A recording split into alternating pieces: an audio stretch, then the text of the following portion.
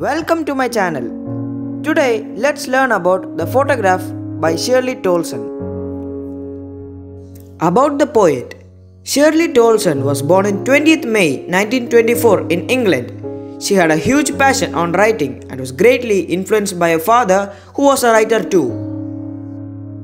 The poem, A Photograph, is about the transience of human life, death, and miseries surrounding them. The poet is looking at the photograph of a mother and missing her. It depicts the scene of a mother's childhood when she, along with her cousins Betty, Dolly, and uncle, had gone to the beach. Summary The poem begins with the poet looking at a very old photograph of a mother at 12 years of age. The photograph on a cardboard frame shows the poet's mother with her two girl cousins each holding one of her hands. She was the eldest of the three and had a sweet face. In the snapshot, all the three girls stand still, smiling with the hair falling on their faces, to get clicked by the camera of their uncle on an occasion when they went paddling. The sea, which had apparently undergone no change, washed their transient feet. This image of transience provides a sharp contrast to the eternal sea. 20 to 30 years later, the poet's mother laughed at the picture, pointing how she, Betty, and Dolly were made to dress for the beach holiday. That sea holiday was a thing of the past for a mother at that time, while the mother's laughter is the poet's past now. Both signify their respective losses and the pain involved in recollecting the past.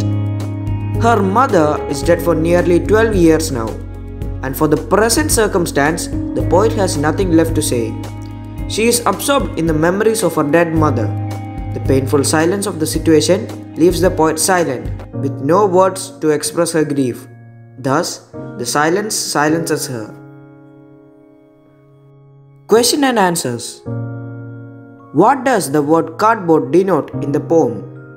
Why has this word been used? Answer The cardboard is a part of a photo frame that keeps the photograph intact. The poet has ironically used it in a poem, a photograph. This cardboard helps in keeping the photograph of the 12 year old girl safely intact, who herself was of transient nature.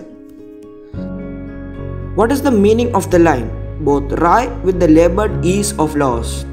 Answer Both the mother and the poet lost their childhood innocence and youthful spirit that the photograph had captured some years ago. On the other hand, the poet has lost the smile of her mother, which has become a thing of the past. Later, she loses her mother too. The three stanzas depict three different faces. What are they?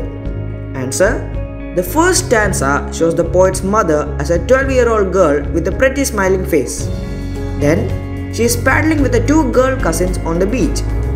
They all have a happy youthful laughter. This is before the poet was born. The second stage describes the middle-aged mother laughing at her own snapshot that was taken a long time back. The third stage describes the silence on the poet's face. If you found this video useful, then don't forget to subscribe and also watch my other videos too.